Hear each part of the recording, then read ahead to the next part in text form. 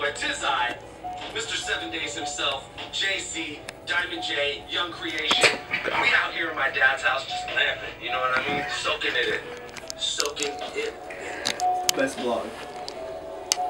I want to talk to you guys about a very important event in the near future. Of course, I'm talking about Paid Dues 2012, April 7th, San Bernardino, California, right in the heart of my dad's kingdom. We getting it in. We got a ton of ill crews performing, very glorious lineup, very glorious. But my favorite part of the whole Paid Dues Festival, my dad's favorite part, he's very Old Testament in that way, is the battle. And we got a battle, grind time now style, between Dirtbag Dan, the Zay Baby Ra, versus Isaac Knox, Orlando, Florida.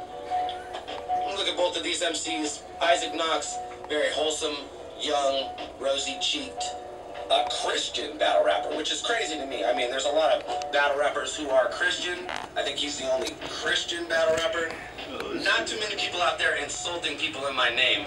So shouts to you for that little bit of blasphemy. If I can make one little suggestion, Isaac, in this battle, maybe, maybe you can keep my name out of your mouth just a little bit. I feel like you kind of recklessly throw around the JC. People know me, you know what I mean? Diamond J. I'm out here. So, we get that. You don't need to do it so much. Dirtbag Dan, the Zay Baby Raw, uh, just uh, amazing MC, awesomeness on 10. He's got a lot of that hustle that I see that, that you know reminds me of me back in B-Town. who was just rolling around with the apostles, just Bethlehem getting it. I see myself in you know what I mean? So